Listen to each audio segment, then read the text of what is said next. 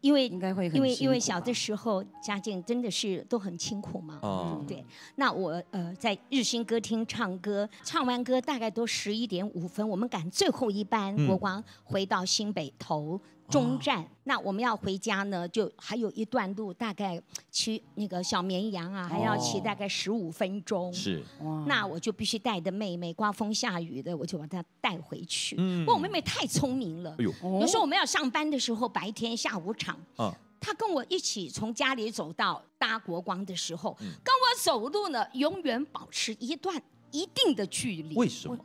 她都一定走到我的鞋后面，哦，我就莫名其妙。我说为什么他也不比我早一点，也不比我再晚一点？哦，原来他怕晒太阳，他走在我的影子下面。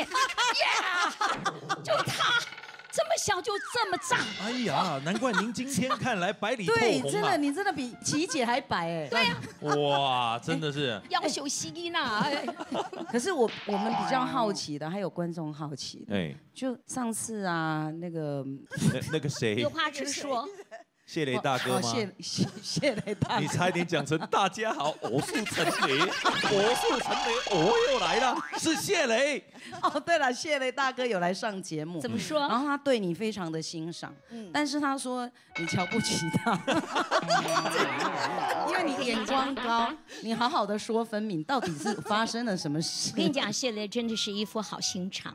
哦。他是呃钢刀嘴巴豆腐心，哎呦。嘴巴是很利，第一次听到钢刀哎，哦。钢刀嘴巴，刀刀呼刀呼心。哎，刀子嘴豆腐心。对啦，那我们年轻的时候是，养个口，哎呦，因为家里环境都不好，都不好，。对，然后我们坐那个那个时候刚刚有计程车，嗯，刚好除不进，哦，差吧两毛还是五毛，我忘了，嗯，没帮我耍嘞。哎呦，他他就是不肯，我说那就除不尽啊，你怎么办？那明天给我。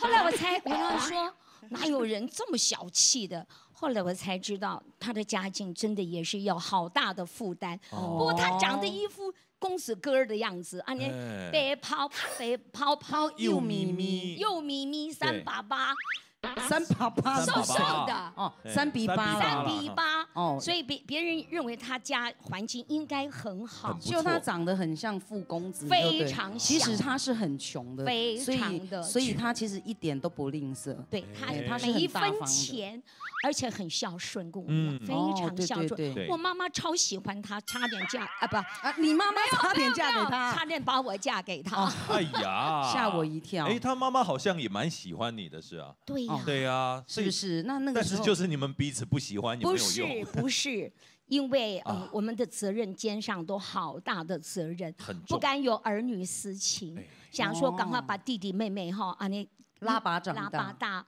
那那爸爸呢又好赌，嗯。那我又付了好多的赌债。是，那天所以呢，两个人不敢有儿女私情，但是我知道谢磊是对我蛮好的。嗯，那我也不是看不起他，不过我要没有啊，讲一句，那是我自己说的。我没有，我发誓，早期我们两个人一喝咖啡，嗯老板娘就紧张的要死，怎么说？因为以前一杯咖啡你去喝有摆一罐奶精，有没有？哎？对哦对对。对，奶精刚刚哦古灵混一罐五包，哦，是。奶还有枸杞一罐冰糖，冰糖，哦。冰糖冰糖，哎，然后他全部带回家外带吗？哦？他不敢。他不敢，但是，一杯咖啡就把人家糖通通一罐都吃光。啊！我是把奶奶精当奶粉在吃，所以我们两个人两杯咖啡，人要赔一大罐的奶精，一大罐的冰糖。有一次，老板看我张琪跟谢莲又来喝咖啡了，搞欧气挂起来，弄搞欧气挂，真的假？真的好可怜哦。对啊，那个时候很稀奇嘛。